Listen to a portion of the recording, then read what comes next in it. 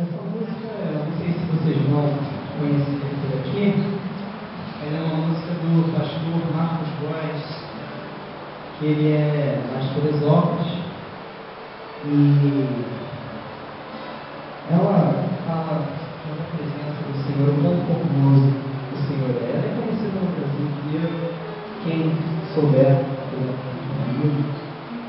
Senhor.